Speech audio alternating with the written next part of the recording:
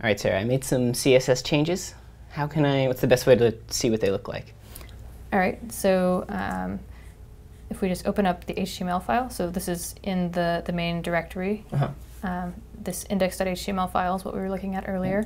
So we can just open that up. It'll open in your default browser. All right, but this is the And game now we made. have our images instead of the numbers. And this is, this game is actually much harder when there's images. Because you don't I- know what's next. Yeah, I don't know what the numbers I'm doing. I just know that I want the faces, and so these are just U.S. presidents. It's the first thing that came to mind, but I mean, there's tons of cool things you could do. And the way I did this was I went to the CSS file, so we're in main.css, and I went to all these places where it's talking about the actual tile properties. So what does the two tile look like, the four tile, and so on.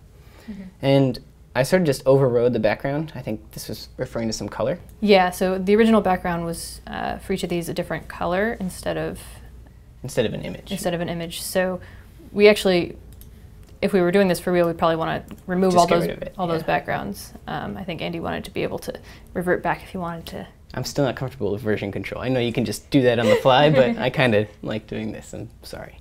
Um, but yeah, so I have I made this folder called tile sets, presidents, and then I just called the different images two, four, etc. And this dot dot slash. So what's going on here? If I'm tell me if I'm thinking about this right. Index.html lives somewhere on my computer. Yeah, inside this 2048 directory. Okay. And so the dot dot means go back up a directory. Yeah, because this this style file that we're in is under style. Ah, so it's going back to the So we parent go back up to 2048 and then it found. and then go to the tile sets directory, which is just under 2048. Okay, and if you open that, that's where we get our presidents, and we have all those files. Yep. Cool. Now, what are you gonna do? I don't know, but I don't know. I don't know. let's keep playing around.